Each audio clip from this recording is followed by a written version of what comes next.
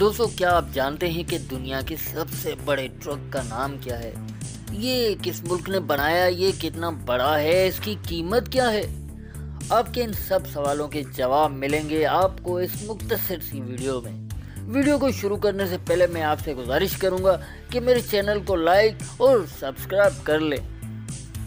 तो शुरू करते हैं। दुनिया के सबसे बड़े ट्रक का नाम है बेलॉस seven five seven one zero तीन सौ साठ टन वज़न के साथ ये दुनिया का सबसे भारी ट्रक बन जाता है।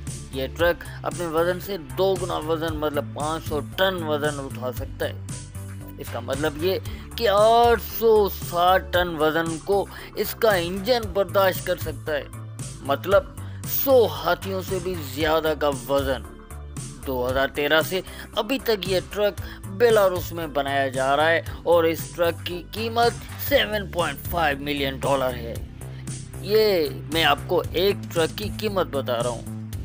अब आप ये सोच रहे होंगे कि ये इतना बड़ा ट्रक है तो ये डीजल कितना खाता होगा? तो जनाब, इस ट्रक का जो डीजल टैंक है, वो आपके घर की टंकी से भी बहुत बड़ा है। तो जनाब, ये वीडियो आपको कैसी लगी? उम्मीद करता हूँ ये वीडियो आपको पसंद आई होगी। और अगर आपको ये वीडियो पसंद आई है तो लाइक ज़रूर कीजिएगा। और मेरी आने वाली वीडियोस के नोटिफिकेशन हासिल करने के लिए मेरे चैनल को सब्सक्राइब कर लें, ताकि वक्त पे आने वाली वीडियोस के नोटिफिकेशन आपको बर वक्त मिल सके। तो मिलते हैं किसी और वीडियो में।